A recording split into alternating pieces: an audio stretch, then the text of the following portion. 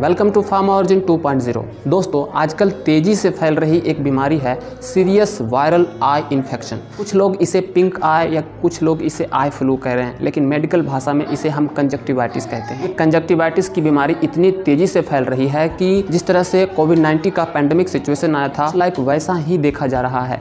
Hospital में सिर्फ़ conjunctivitis के ही पेशेंट भरे पड़े हैं। तो ये बहुत ही गंभीर समस्या है। तो चलिए जानते हैं कि आखिर ये क्या है, कैसे फैल रहा है, कौन सी बीमारियाँ हैं, क्यों हो रहा है और इसको कैसे हम रोक सकते हैं, इसका इलाज क्या है, कैसे हम ठीक हो सकते हैं। वीडियो को लास्ट तक देखिए और फैमिली में भी शेयर करिए ताकि सब इससे अवेयर हो सके। इससे पहले हम समझते हैं ये कंजक्टिवा क्या होती है। तो कंजक्टिवा मतलब एक म्यूकस मेम्ब्रेन है, एक पतली झिल्ली होती है जो हमारी आँखों के, पल के एवं आईलिड यानी पिपनी के अंदर वाली परत को कवर करता है, जिसे हम कंजक्टिवा कहते हैं। और जब यही कंजक्टिवा में जब बैक्टीरिया वायरस इंटर कर जाता है तो उस परत को डैमेज कर देता है, क्योंकि हमारी आँखें बहुत ही नाजुक होती है। तो बैक्टीरिया वायरस जब इसमें अटैक करते हैं तो ये आसानी से आँखों को डैमेज कर देता है।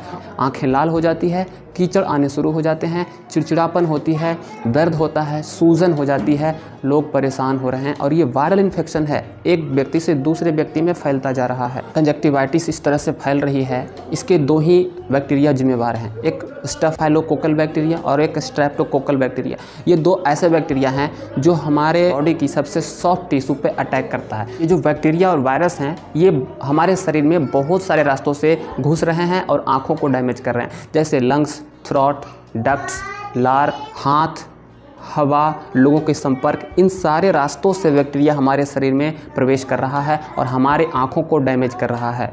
मेनली रूप से इन्फेक्टेड पर्सन जो पहले से जिनको जिनको हो रखा है, उनके संपर्क में आने से या गंदे हाथ को आँख रगड़ने से या फिर गंदे कपड़े इस्तेमाल करने से या फिर छींकने से या हवा में जो बैक्टीरिया फैल रही है और पास के जो इन्फेक्टेड पर्सन है, उनके आसपास जाने से ही फैल रहा है। एक परिवार में अगर किसी को हो गया है तो वो दूसरे को भी हो जाएगा, इस तरह से फैल रही है बीमारी। कंजक्टिवाइटिस हो जाती है तो इसका सिम्टम क्या है, इसके लक्षण क्या है, उसके बारे में जानते हैं।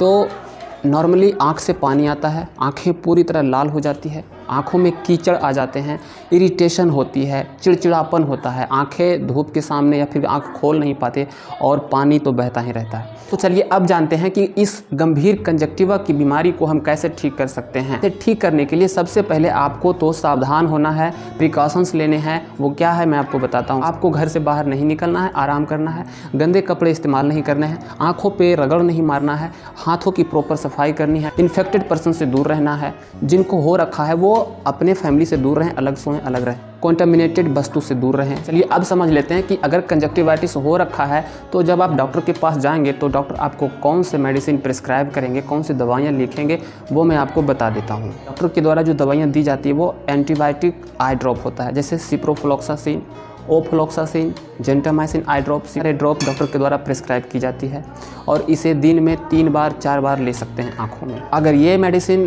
पर्याप्त नहीं है तो आप आई ऑइंटमेंट ले सकते हैं, जैसे कि ciprofloxacin eye ointment chloramphenicol ointment ये जो ऑइंटमेंट होती है, वो सोते समय रात में आप आँखों में इस तरह से पलकों के अंदर आपको इस तरह से रख लेना है और सो जाना है। टैबलेट में डॉक्टर के द्वारा सिप्रोफ्लोक्सासिन पाँच सौ का टैबलेट दिन में सुबह, शाम एडल्ट डोज में दिया जाता है और एसाइक्लोफेनस प्लस पैरासीटामोल की कम्बिनेशन की टैबलेट दिन में दो बार या तीन बार सिचुएशन के अनुसार डॉक्टर के द्वारा बताई जाती है। इन सारे दवाओं को आप रेगुलर खाओगे और सावधानियाँ को ध्यान में रखते हुए अगर रेगुलर तरीके से काम करोगे तो आपको दो से चार दिन में ये कंजक्टिवाइटिस की बीमारी ठीक हो जाएगी। अगर आपको वीडियो अच्छी लगती है इन्फॉर्मेटिव लगती है तो चैनल को सब्सक्राइब करें। ऐसे वीडियो मैं लेकर आता रहता हूँ। So thank you so much मिलते हैं अगले वीडियो में।